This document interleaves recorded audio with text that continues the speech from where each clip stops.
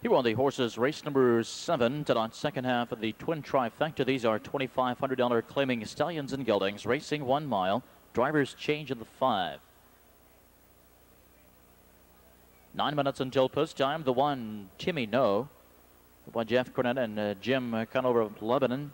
Jeff Cornett trains, Jim Conover drives. The two, Warm Image, by Tom Cummins of Solana. Roy Murphy trains with Randy Tharps. Three T-bone stakes owned by Don Johnson of Pickerington. Randy Owens, the trainer. Mike Wilder, the driver. Four is winning rival, laced by Craig Parker of Columbus and Doug Parker of Canal Winchester. Doug Parker trains Don Irvine Jr. The five is Land Assault, owned by Jesse Asher of Dayton. Carla Griffin trains. Driver's change is to Terry Groves. Groves. From post six, sharp looking JJ, owned by Eilers Auto Rental of Kettering. Selden Ludford, the trainer, Eric Ludford, the driver. Seven, Stylish Cookout, owned by Gerald Woodart of Malta. Ed Ryder trains for Reinholton.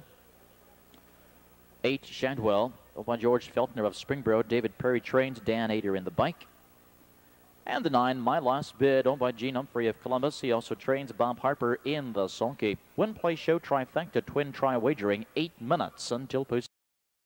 Seventh race, Stallions and Geldings are on and behind the gate. The gates on the back stretch. There they go.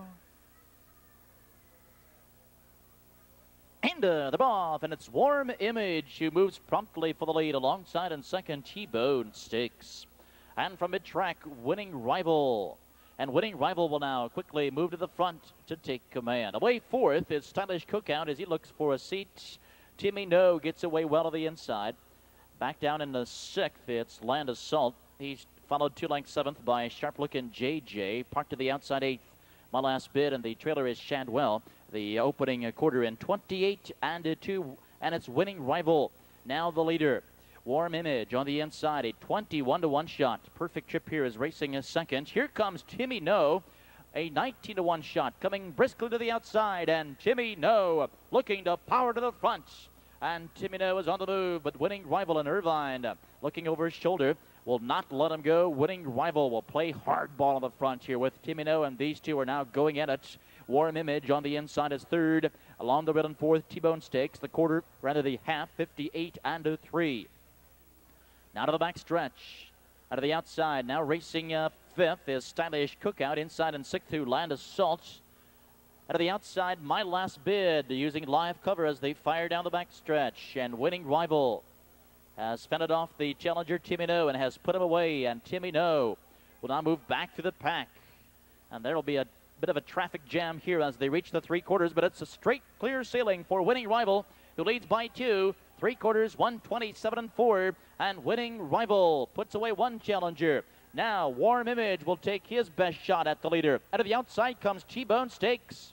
Now with less than an eighth a mile to go, and down the stretch they come, and it's winning rival, still the leader. Warm Image down to the inside, or the outside, T-Bone Stakes as they sprint for the payoff. It's winning rival. T-Bone Stakes a late closing second. Winning rival coasting home at 157 and 3.